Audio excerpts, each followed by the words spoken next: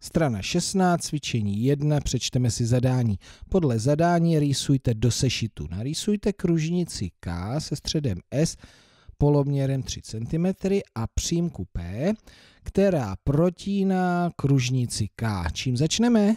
Ano, už to slyším. Náčrtkem od ruky. Takže střed S, kružnice K, s poloměrem 3 cm a přímka P protíná kružnici K. Čili to vypadá takhle, má dva společné body, kterým říkáme průsečíky, no a mohli bychom si je pojmenovat. Tak, víme, co máme rýsovat, víme. Takže konstrukce a jdeme na to.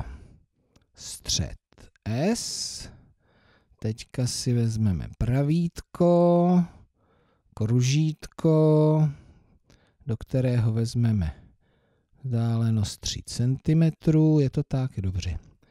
Dobrý, ještě budeme potřebovat, takže jenom uhneme.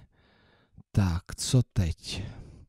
Pojmenujeme tu kružnici.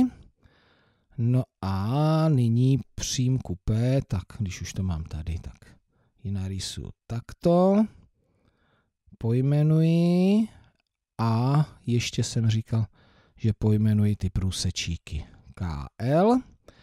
No a na závěr zápis. Tak co jsme narýsovali? Kružnici K se středem S, poloměrem 3 cm a potom jsme narýsovali přímku P, která, takže přímka P protíná, protíná kružnici K v bodech KL. Tak, ještě jsem tady napsal takovou chytrou větu. Dobrý, takže jsme si procvičili rýsování kružnice a přímky, která tu kružnici protíná.